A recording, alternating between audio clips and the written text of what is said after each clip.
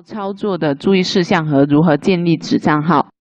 通过刚才的内容，我们总结一下，主要是不关联的话，主要是七大注意事项。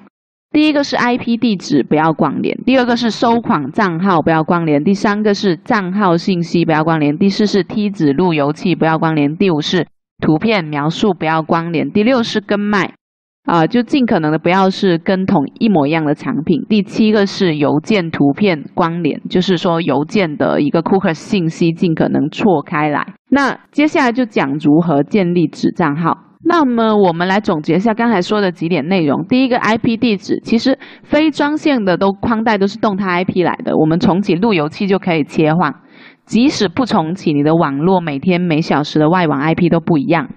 第二个收款账号，就无论是美国银行卡 w o r First 还是 P 卡，卡号不要相同，名字可以相同，这个没关系。第三个是账号信息关联，姓名、邮箱、地址、电话号码、信用卡密码都不可以相同。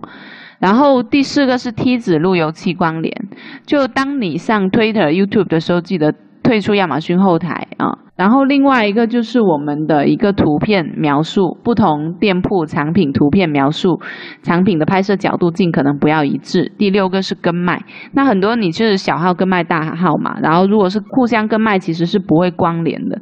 但如果说当你跟的这个产品可能出现问题的话，它跟卖的账号也有可能会触发审核。这样，第七个是邮件图片，那也就是说，呃，邮件中加载图片或者 Flash 的时候是可以读读取你的 IP 地址的。针对这个情况的话，可以使用 Gmail 的禁用邮件加载功能。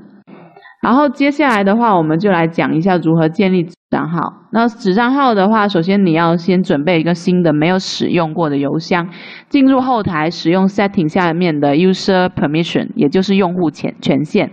那点击了 User Permission 之后呢，你在邀请框中填入准备好的邮箱，点点击一个 Send Invitation，那这个地方就是发送邀邀请了。那打开邮箱之后，它就会收到一个就是 Invitation to become a Seller Central User for 谁谁谁的邮件。那我们点开开来。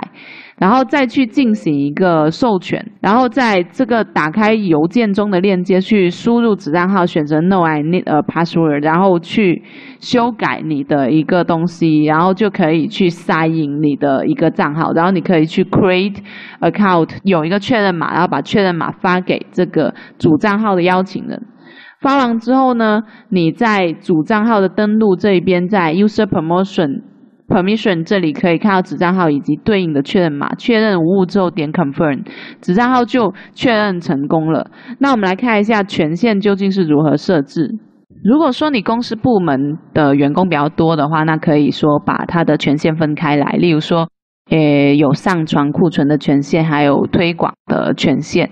好，另外就是管理订单、管理退货的，还有品牌旗舰店的，还有业务报告、销售概览的。权限，那么这一些都是可以根据你的不同的需求去设置的。